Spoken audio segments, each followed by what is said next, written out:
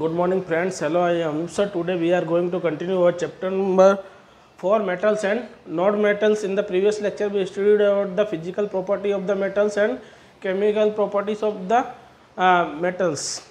And also we studied about the physical properties of the non-metals. Today we are going to study about the chemical properties of the non-metal.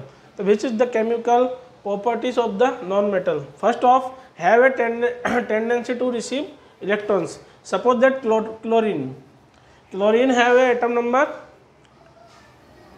like 17 means octal rule के according first orbit में कितने आएँगे two electrons second में eight और last में कितने आएँगे third में सेवन तो कितने इलेक्ट्रॉन होने चाहिए थे इसमें एट होने चाहिए तो ये क्या करेगा? Plus one. तो क्या किया? एट बनाने के लिए क्या? Two eight eight eight. According to octal rule in the last shell of the atom must have eight electrons तो एट इलेक्ट्रॉन्स करने के लिए क्या करेगा? सेवन है तो एक ये गेन करेगा। क्या करेगा? एक गेन करेगा। Then its valence is minus one तो have a tendency to receive electrons तो क्लोरीन क्या करता है? इलेक्ट्रॉन को रिसीव करता है। Because of chlorine is non metal if you take any non metal then it a policy to uh, receive electron. Next one is don't displace hydrogen gas from the डायलिक acid acid के साथ जब non metal react करता है तो क्या वो hydrogen gas displace नहीं करता है। React with oxygen to produce acidic oxide non metal है। ऑक्सीजन के साथ रिएक्ट करके क्या वो प्रेजेंट करता है acidic oxide like that C plus O2 means it gives the CO2 CO, CO2 have a nature acidic CO2 का nature कैसा है? एसिडिक नेचर है। इसको ब्लू लिटमस पेपर में डालोगे तो क्या हो जाएगा? Blue litmus paper convert in red blue litmus paper convert in red so CO2 have a nature acidic ca2 uh, carbon dioxide have a nature acidic it means it is a acidic gas uh, sulfur also react with water then it will also uh, make a acidic uh, react with hydrogen to produce the covalent compound तो carbon क्या है non metal है react with hydrogen then it gives the methane C H H H H.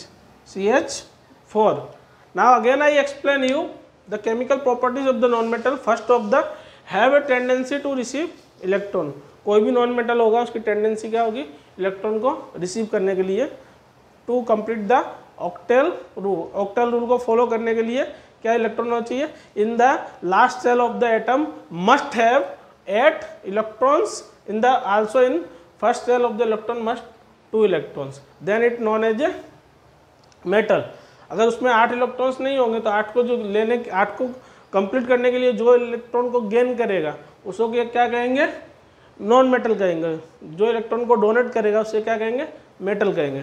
Don't displace hydrogen gas from dilute acids react with oxygen to produce the acidic oxide देखो carbon क्या है? Non metal oxygen के साथ react कर रहा है then it give C O two C O two means carbon dioxide in have in nature acidic blue litmus paper convert into red react with hydrogen to produce the covalent compound C plus two S two then it gives the C H O four it the chemical properties of the non metal I have I like you well understood about the chemical properties of the non metals but you know that non metals does not react with air or water. So, it put in the water and air easily. Like that, the phosphorus. Phosphorus is क्या है non metal है phosphorus क्या है it is non metal देखो, इसको जैसे air में रखते हो तो क्या बहुत ज़्यादा जल्दी एक्टिव हो जाती है? इट रिएक्ट हाई तो फॉस्फोरस को किसमें रखा जाता है? It put in water react in air react in air start to burn start to burn इसका यूज़ का क्या होता है? मैच बॉक्स को बनाने में इसका यूज़ होता है, किसका होता है? फॉस्फोरस का। ये it is a react in air fast and start to burn so it put in water phosphorus is a non metal it is exception case of the non metal generally non metal dot react with air and water it is the chemical properties of the non-metals.